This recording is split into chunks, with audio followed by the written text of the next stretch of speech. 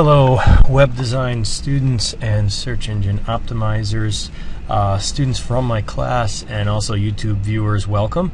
Uh, this is going to be a brief tutorial on how to set up an analytics account for a specific site. So this is assuming you already have an analytics platform set up, like you have a, an account in analytics, and then within analytics, each site that you decide you want to track is its own separate account.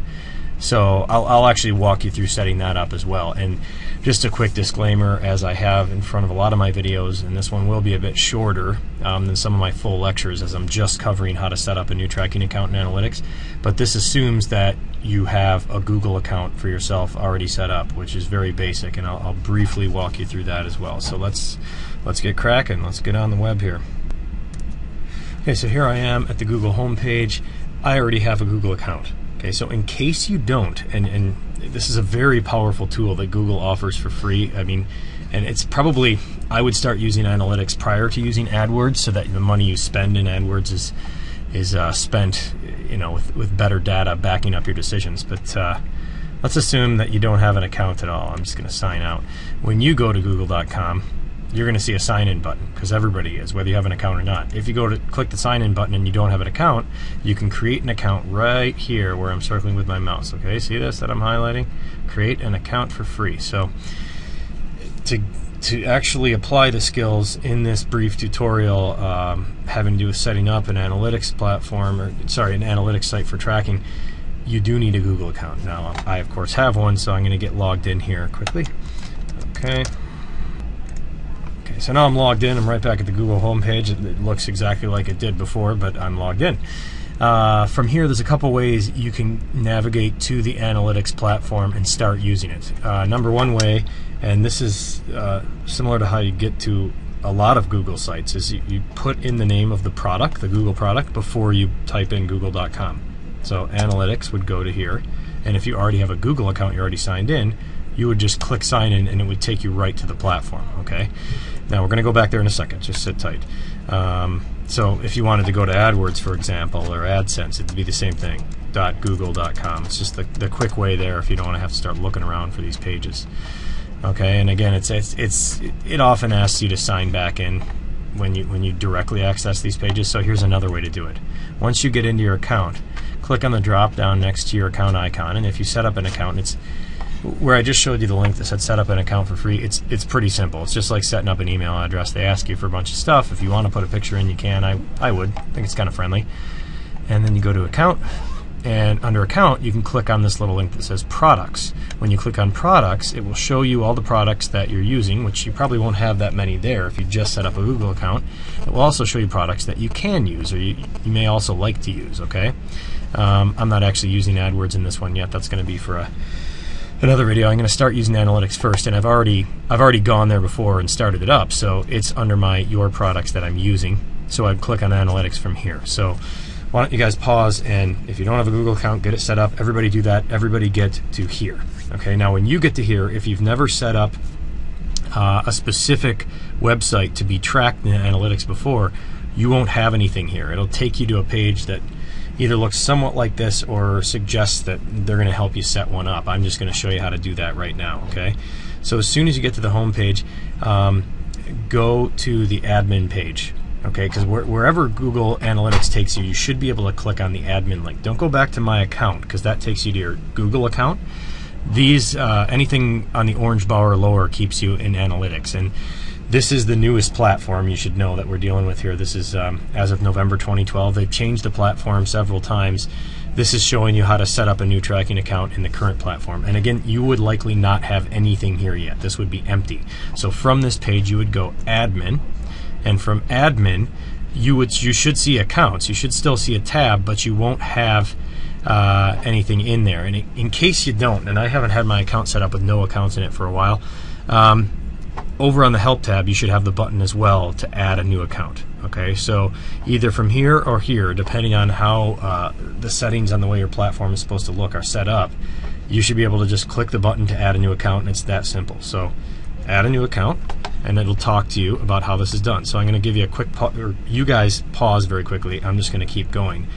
But this explains it kind of word for word exactly how you do it and now I'm going to go ahead and Okay, so following these steps, I'm going to go here and click New Account, and I'm going to put in my information. Now, just so you know, if, if you are a student in my course and you're in Professor Gray's course, you cannot use that Google account to generate the tracking code for your final project website. Yes, you are going to create code, a lot of you, for sites that aren't going to be launched into the real world and probably won't see a lot of uh, activity, but it, it's the process of getting the code in there is the very first step to actually using this platform and, and taking advantage of all the great benefits it has. So this is the number one thing you got to do. And this, a lot of people do uh, work in analytics very, very well and don't even understand how to put the code in. They just need the web designer to do that, and then they go and analyze the data. What I'm showing you is the simplicity of how easy it is to put this code in. Okay, first thing you got to do, set up the website. So what's the website name? I'm going to call it according to the demo site here. This is my fishing site, right? That's what we're we're going to put this into. Uh, here's my homepage. It's Mike's fishing site. Let's just look at the site title. I mean, let's name it something fairly appropriate for what the site's about. It's Mike's fishing site, so let's call it Mike's fishing GA account. Okay, and and you don't have to name GA account. I mean, this really is just the website name. Just as easily call it Mike's fishing site. That's probably more appropriate. Now, your website URL, uh, you actually will have a domain a URL, like a path to follow to your site. Even if you're in my course and you haven't purchased a domain, you're still going to have one. So it's assumed that you've already uh, reviewed the video on how to set up the server connection to my class, so you should know that your URL would be as follows. So it would be www.kinlandschool.com, okay, and then forward slash the folder that contains all of the student sites from your semester, and then your last name. You don't need index.html. It would be accessing the same file anyway. We haven't gotten into that whole canonical thing. Um, so you just you draw the path, and it's as simple as that. And you do want to have an accurate address in there so that your code actually works. Okay, and I'm not going to be checking your data. I'm just going to be checking on your final projects that you actually put the code into each page in your site because it does go into each page in your site.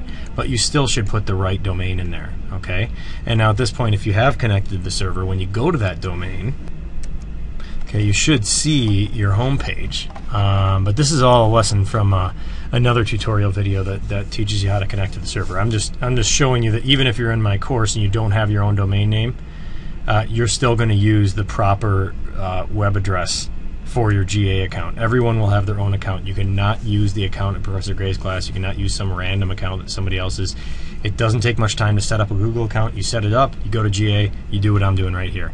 Let's call the category, unless you're actually going to launch this, let's call it education. Um, because in lieu of you actually keeping this on the web for a long period of time, you don't want to mislead. Google does a good job of collecting data and figuring out what all their users are doing. So be honest and tell them what it is. If you're actually doing one of those sites in my course that's going to be launched and used in the real world, you can pick um, an industry here. Uh, we we are in Canada in my course, so we might as well switch that up to have the proper location. Closest city to us with the same time zone is going to be Toronto. And now we'll give the account a name. So that's the name of the website. You can actually put multiple domains or sites in an account. So this is where, uh, what I was doing above, this is where it would be more appropriate to call this Mike's Fishing Site GA account, because you might want to individually track other domains within this account. So, and you're going to spell it right. And use with other Google products. This is this is a good idea, uh, because if you're using, uh, you know, YouTube and, and AdSense and AdWords and Webmaster Tools, you're going to want all this stuff connected. So you should probably just leave that checked.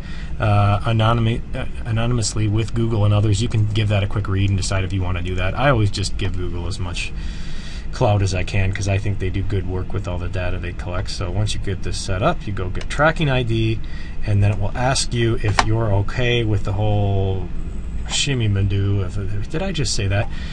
It'll ask you if you're okay with all this. You might want to switch it to Canada. Just make sure you agree to the correct terms of service or keep it on the US or whatever country you're in and then accept, okay? And of course, you should have paused there and read that. That immediately takes you to a page where you are given your tracking code, okay?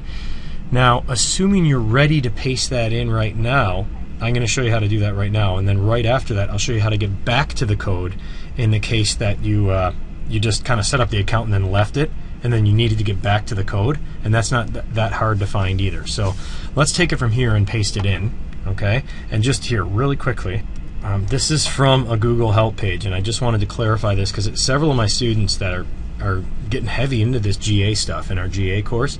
They said to me, "Oh no, you got to put it in the body. It goes in the body now." And putting it in the head is like totally old school. Uh, this is a Google support doc that is that is active right now, and and you know I know Google updates their stuff constantly, and it's almost the end of November 2012, and it says right here, once you find the code snippet, copy and paste it just before the closing head tag. So, ladies and gentlemen, in my course and out there in the web world on YouTube, if you've heard otherwise, that is not correct. Okay, according to Google, the best place to put it is still within the head, and they're indicating here that they prefer you put it just before the head closes. So you may have other links to script, uh, you know, with within your site. Just make sure you put it in the right place. And of course, this code will come directly from your individual analytics account. So as soon as I set up the account, it took me right to the tracking info tab, and I will take the code copy the code, go into the page that I want to start tracking, and you should have this on every page in your site. And if you're in my course, please understand that you will not get full credit for this uh, this component or this step in the final project that is worth some points unless you have it on every single page of your site. Now, it doesn't need to be altered from page to page unless you actually start setting up different um, different sites within this account that you want to track separately and this this is something you've covered in, in the analytics course. I'm just showing you the administration of this here. So go down to where your head closes and give yourself some space, like enter a few lines, and then go up maybe a couple lines before the last piece of uh, script or link or whatever it is there. Paste the code in. I'm just using cut and paste on my keyboard. Leave a couple lines below. That way it's always easy to go and find the analytics code because sometimes they do update the code and you would then need to update it in your site. Um, sometimes you need to get it out of there because you decide you want to stop tracking your site. Uh, they won't do that to you too often, like updating it. So once you get it in there, you're, you're good. You would save the changes and you would close the file. And of course, if you want it to be actually tracked on the web, once the, the script is in there, you you have to upload those files that you uh, you've changed. And I don't need to upload dependent files because I haven't changed any of the graphics or CSS or anything. I just upload the index and then back on uh, oops, wrong window. Okay, back here where I have the page loaded, if I go and view page source, you'll see right before my head closes, I don't have anything in there. But if I hit refresh, because I just uploaded it from the server, now I have the GA code in there. So don't forget, of course, you know, once you get the code in there, if you're using Dreamweaver, and that's how I've, I've kind of led you to, uh, to creating a website in, in my YouTube videos you have to still upload the change. Every time you change a file, it's not going to be on the server until you upload it. Okay, so tracking code is in there. I'm going to go ahead and put it on the rest of my pages now and upload those, but you're not going to have to watch that. The one thing I wanted you to see is what if you created the account and you'd already left this screen that it took you to automatically. I mean, this is the easiest way to get the code is right when you set up the account because it takes you right to the screen where the code is. And you'll see you're on the tracking info page. There's the code. Okay, I'm going to show you how you get back to the page where you could use the code if you've already left there. So we're going to start at the beginning at the analytics, um, well, at your analytics platform homepage. Okay, so here we are back. Yeah, here we are back at the main analytics page. And if I were to go, like if I were to have been in the account and I went to the account homepage, it's still this is going to be the place you usually get to it, when you first access your analytics account if, you, if you've shut it down in that browser previously. So it'll have all your accounts listed. If you only have one, it'll just have one. And you're not going to go into it this way. This is where you usually want to go to see, like, hey, who's coming to my site? What kind of data am I getting? You'd click on the account, go to data, and obviously we just set this up literally seconds ago so we don't have any data yet it, it takes a bit of time there um, you're not going to go here yet okay We're, this is you're still setting up your account and this is in the case that you went and set this up but forgot to save the code in one of your pages now you need to go back and say you're in my class for example you need to get back into your Google Analytics account and get that code to paste into all your site pages you go to here you're at your account home you go to admin just like we did to set up a new account then you click on the account itself, so that's the one we just set up. And then even from here, and it looks like you should be able to get in there from all these different tabs, right? But you're not. Once you get to this page to get to that account, you got to click the account button again, and only then will you see the tracking info tab. So it's not, it's fairly intuitive to get back there, but it is a bit uh, you know, you got to go through uh, several channels to finally get here, and then you've got the code again, and then you can paste it from that same screen, even if you left that screen right after you set up your account. So that's not that big of a deal. And once you're inside of account, just to show you very quickly, because you probably just started using this, you can see you can switch from account to account. And if you click on the home button, you're going to be in the home button then within that specific site account. Okay? If you click uh, admin, you're going to be in, in the admin area for that specific site account. If you were to go back um, to the main account page, okay, which from here is, I don't even know how you, how you get back there from here. You go uh, all Don't know, that's just all data for all sites. Uh, you go to the account list actually, and that'll take you back to that page you usually get to right when you start. Okay, you usually won't end up back there unless you deliberately try and go there. Because once you get into an account, okay, you go to admin, even if you didn't click on it from the beginning, and I'm in this account. Uh, once I click in there, I'm in there up here. Okay, so uh, unless unless I click back to account list, I can switch from account to account, but you won't typically go back to this home page. And this just a couple extra tips here at the end to get you comfortable with the new analytics platform. And this this hasn't been up that long. It's only been about half a year, so hopefully they keep it this way for a while. It's it's oh, there's always nice changes when they upgrade to the new platform, but it is it does get a bit annoying when you learn one and then they change it all again on you. Uh, Google likes to do that, you know, but it's not a bad thing because Google rocks. So uh, that is it for this one. And just to recap, um, this was assuming that you, you do have a Google account, and I showed you at the beginning how you can set up a Google account if you don't have one. And once you get one, it just takes you through the process of getting analytics running within your Google account. And it's quite simple. And once you get the account set up within GA for a specific site, I walk you through the process of how to put it into the code of your page, which is even simpler because you just go to the end of the head tag, make a little bit of space, put it in there, copy and paste, that's it. And I showed you how to get back to the code in the case that you've already created an account but didn't manage to save the code there and you needed to go back at another time and get into it, which is a little bit tricky but still pretty simple. So we just covered all that stuff in this video. Hope you had fun. I will see you in the next one.